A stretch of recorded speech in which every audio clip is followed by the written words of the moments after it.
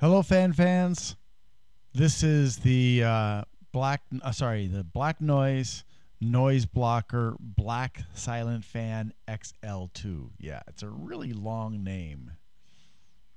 And you're wondering why did I say Black Noise? Well, black uh, noise blockers are made by Black Noise Technologies, and it does come with rubber mounting pins. This is the fan. I love the color of the blades. For me, that's really pretty. And it's a three pin connector.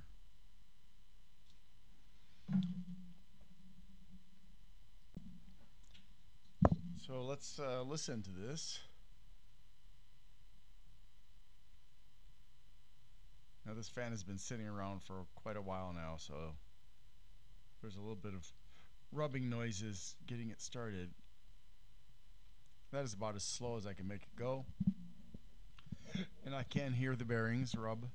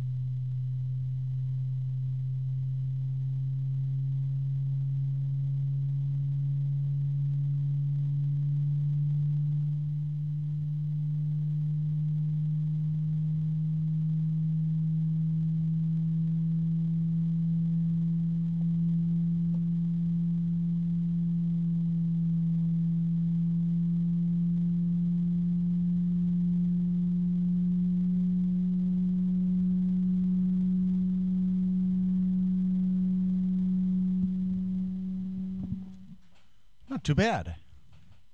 In fact, having it like this in my hand right now, um, already it's it's significantly quieter.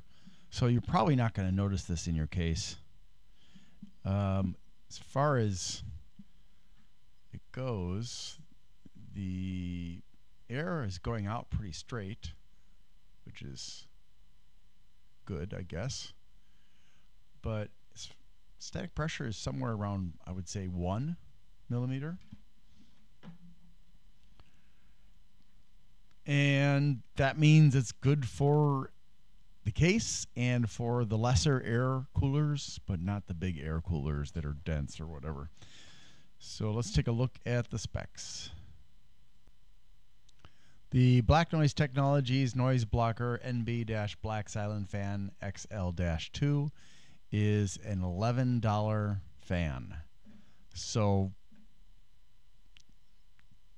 I think, you know, should be cheaper, but this is an older fan. Um, made with, uh, sorry, not made with, uh, made in China. Certified CE on RoHS, 120 by 25 millimeters, 80,000 hours of life, three year warranty, 120, oh my gosh, 125 grams, seven blades, 105 millimeters between the fan mounting holes, 1500 RPMs, 57.7 uh, CFMs of airflow, which would be 98 CMH for the metric people, 1.45 millimeters of uh, static pressure, 23.9 decibels, 40.5 uh, centimeter fan cable. That is not daisy chained, but it is sleeved. Three pin DC connector with uh, nano SLI bearings, 12 volts starting at 4, 1.8 watts, 0.15 amps, no indicators of direction of rotation and flow, comes with four rubber pins. Thank you for watching this video. Also, thank you to uh, Lawrence Abrams at bleepingcomputer.com for allowing me to use his forum to promote my videos and thus I promote his website, uh, which is a great website with lots of resources for tech people. and for people who have computers, be it if you need help with hardware or software or even with malware. They have lots of resources. They have also got lots of news on their website about the tech world. If you would be interested in me presenting some of that news here on this channel, would you please let me know? Um, I already have permission from Lawrence Abrams to do that. I'm just not sure if that would be something of interest to people, so I haven't done it yet. Um, but yeah, so please like, subscribe, share, let people know about my channel if you think it's worth it. If you don't think it's worth it and you want to give me feedback, please do so constructively in a video or in the community tab.